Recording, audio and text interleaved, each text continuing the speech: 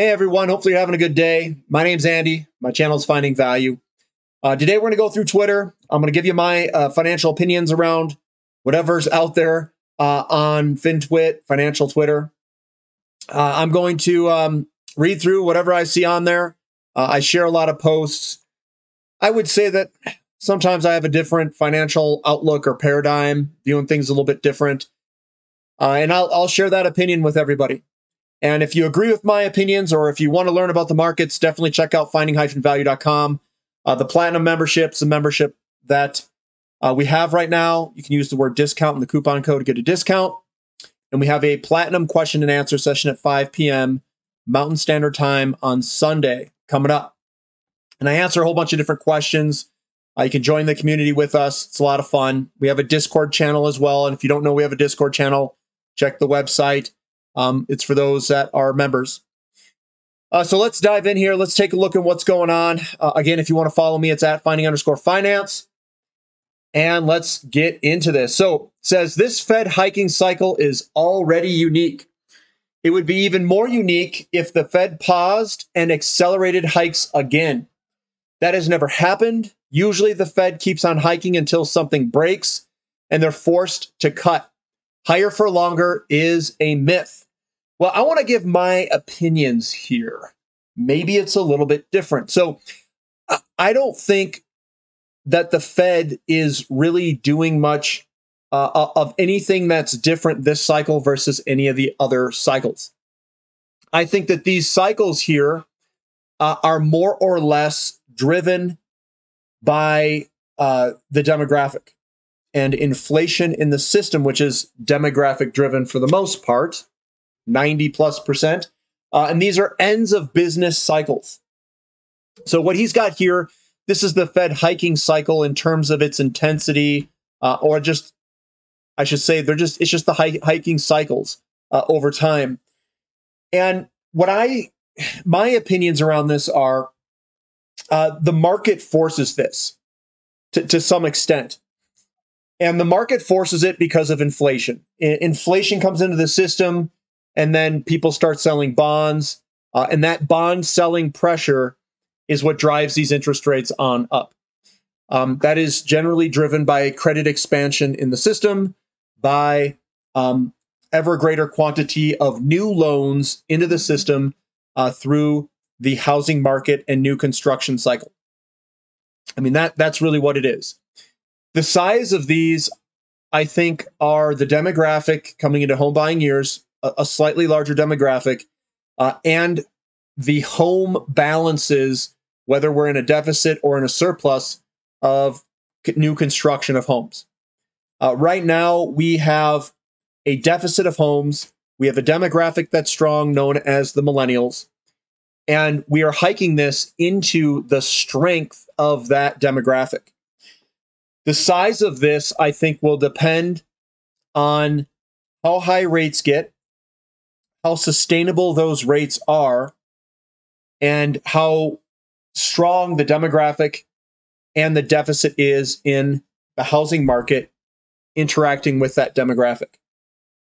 So, um, yes, the affordability can go to crap, but if you've got a really strong demographic, you're still going to have a shortage.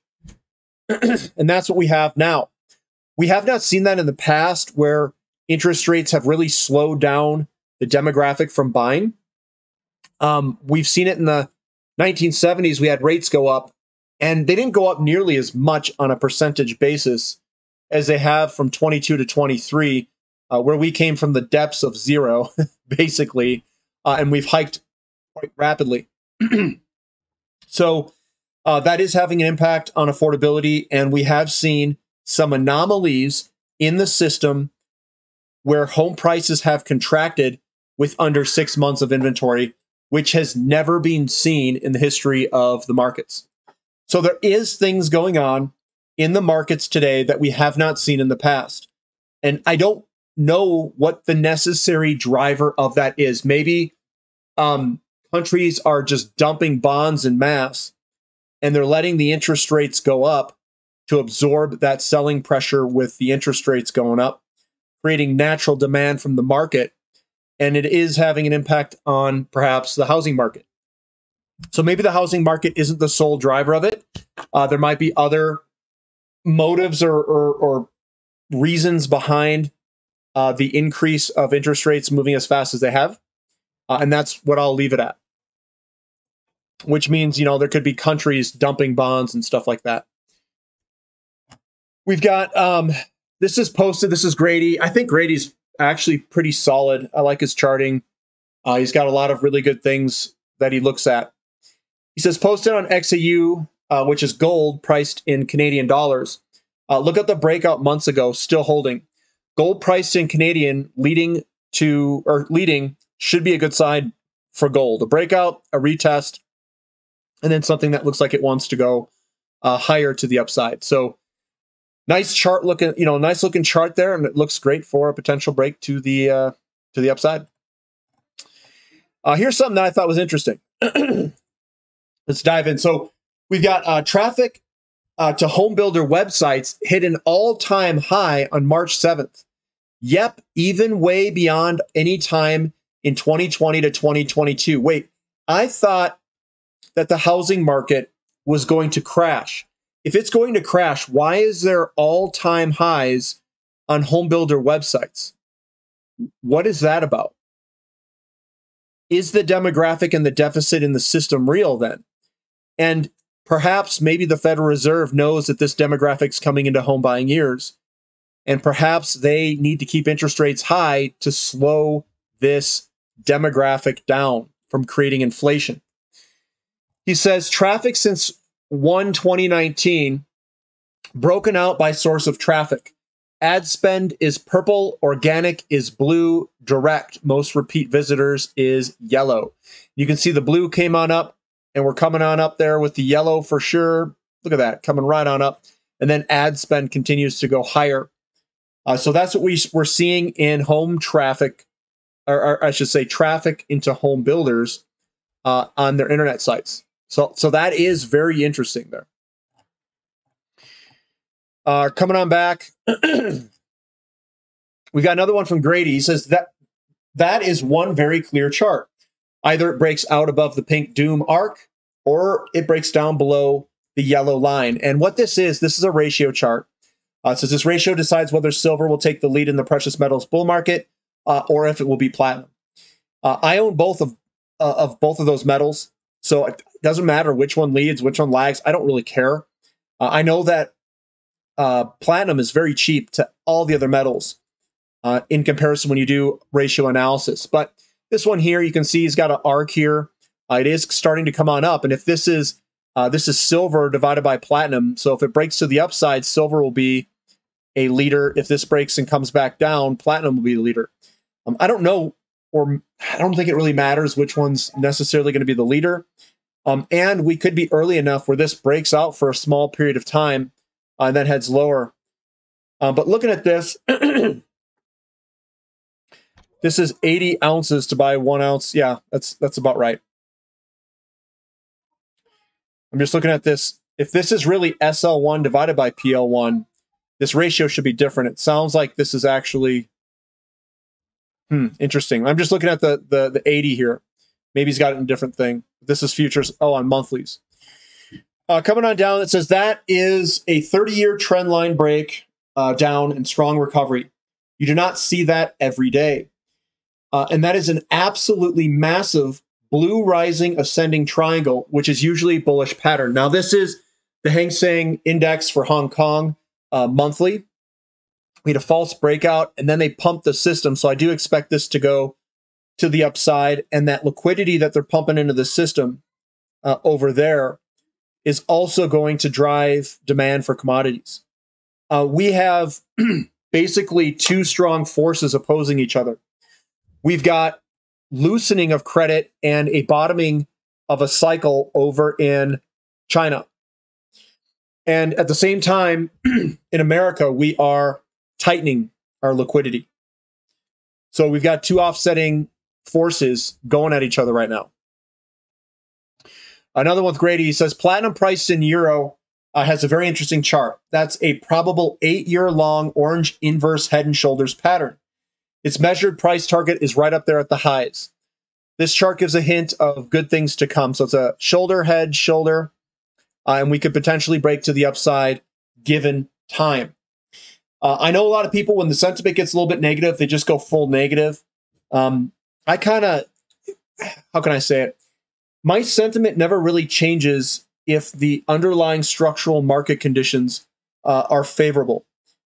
And what I mean by that is the fundamentals of oil and all these different commodities, nothing's been fixed. Now, that doesn't mean that we can't have a short term pullback in the markets. Uh, it doesn't mean that we can't have a recession. But the recession slows down demand. It doesn't fix the underlying supply problem that we have in the market.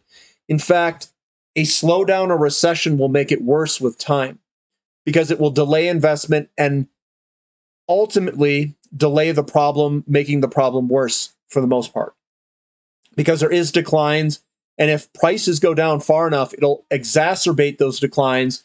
It will pull back any sort of investment that's going to go into it, and it's just going to delay everything and make the problem worse. Uh, because when demand comes roaring back, we're going to be that much further behind uh, in our investments into that commodity. Uh, this is another Chinese stocks, the FXI. Uh, we had a false breakout and then we slingshotted to the upside, now doing a retest. Um, that's what I look for, these false breakouts. And for some reason, I don't know why, we were getting a lot more false breakouts. I think they're trying to get people to think that this is broken to the downside. They all get short and then they just squeeze them all up uh, as it rips up to the upside. Uh, it's pretty common to see this. That's for sure. Now, here is uh, SRSrocco report. He says highest gold cost ever in 2022. This is the cost curves that I talk about. He says the top gold miners' cost of production for quarter four 2022 and interesting fundamentals. Nothing's changed in the past 50 years. Gold market price is based on the gold mining industry's cost of production. Uh, so what happens is um, prices go up. They go to a level where the supply exceeds the demand, and then they fall back down to the cost curve. And it just goes over and over and over over time. what he's saying is those cost curves, the low end of the curve, continues to bump higher, uh, increasing the lows of that metal. So when we have higher highs and higher lows, the lows generally hug the cost curve uh, of commodities. Uh, here's Josh Young. He says, One more thought as shale oil well productivity declines are better publicized, more attention may be drawn to company production base decline rates. Oil sands producers get a lot of attention for their low declines, but there are also low decline conventional oil producers. Uh, these are the Canadian Select uh, E&P base decline rates. And you can see we go from 7% all the way to uh, 43%. These are probably higher cost producers. These are going to be some of the shale plays. Uh, generally, the shale guys have higher decline rates. It doesn't mean that they're horrible. Uh, they could have a bunch of inventory to drill if this is where the new supply is coming from. Uh, but there's also other companies that have low decline. Uh, a lot of the low low decline stuff is oil sands. so oil sands is also a stable way to play this market where they have low declines and they can um, mine it. I think a lot of them are mining or in, in situ type um, mining or, or, or extraction methods. And we can play it that way if they've got nice uh, solid oil there. So this is a chart that shows those decline rates. I'm not going to go over every single one. Uh, Josh Young says Buffett keeps buying Occidental Petroleum, Oxy, a large independent Permian focused oil producer. Uncle Warren bought 6 million more shares of Oxy between last Friday and today. Now at 200 million shares, 22% of outstanding shares, not including preferred shares. So Warren Buffett continues to, to basically load up in oil. So what is he doing that basically we're doing as well? Um, I think he knows what we know. There's a supply problem coming, and I don't think it's going to be solved. Now, could there be problems in the short term where we get a pullback or something like that uh, from a slowdown in the markets? Yes, that's very well possible. I see it as a buying opportunity for a long term hold. Um, and that's my mindset and that's my paradigm. I'm not going to sit here and try to trade this stuff in and out. I, I just, it, I think that we are close to a deficit in oil here where demand exceeds um, the supply, worldwide pumping capacity of oil. And it's like, I don't want to be sitting on the sidelines when that happens. Uh, but that's my take. And obviously, everybody can have a differing opinion on it. Now, here's uh, another one. He says, looks like China's getting ready for war. Remember, their window of demographic opportunity closes at 2030 due to population aging. Question is, do they move on Taiwan or join Russia against Ukraine, uh, so forth? So it says China is selling their U.S. treasuries, and this is what I meant by the treasuries. Maybe there's countries dumping treasuries uh, and pushing interest rates higher than what uh, I would that that what you'd think the market would would push it. it says meanwhile, the People's Bank of China has added 102 uh, tons of gold in the past four months. Total gold reserves now amount to 2,050 tons. Uh, China's clearly trying to limit their counterparty risk in a conflict. That could be a potential uh, thing where they are going to war and they're going to reduce their holdings of U.S. treasuries because it might be against uh, the United States, not directly, but it could be against one of our allies or whatever the heck it is. Uh, this was an excellent interview with hedge fund manager Kuppy, talking about pain from the Fed rate hikes, oil, uranium, nuclear power, and gold. Uh, he holds a very similar view uh, to what I do. Um, he thinks there's going to be a deficit starting in the back half of 2023, uh, accelerating to a very large deficit going forward after that. so he's very bullish on energy, uh, as am I. And I'm kind of just taking the, the view that I'm going to stay in it, stay long, and buy the pullbacks. At least that's been my uh, opinions there. And we've already gone through that. So I'll end it there. Um, lots of information there to, to kind of chew on. Uh, I like keeping it energy related because I think that's where the opportunities are. Uh, I also like precious metals quite a bit as you can kind of diversify your holdings out of the system with that. Uh, we also, you know, I'm seeing a lot of stuff talking about Biden wanting to increase capital gains tax and all these different taxes, business tax, blah, blah, blah, whatever it is. Uh, that might be another way to diversify out of the system for a while where you've got wealth out of the system, which makes it a lot harder to tax. Just another, you know, thing to think about. But uh, that's what I've got for today, guys. Hopefully you enjoyed it. Give me a thumbs up for the content. Subscribe to the channel. Uh, check out the website. Definitely something to check out there. Uh, and meet and and meet you guys and or see you on Sunday if you're already a, a member. Uh, 5 p.m. Don't forget about it. Uh, we'll catch you next time. This is Finding Value.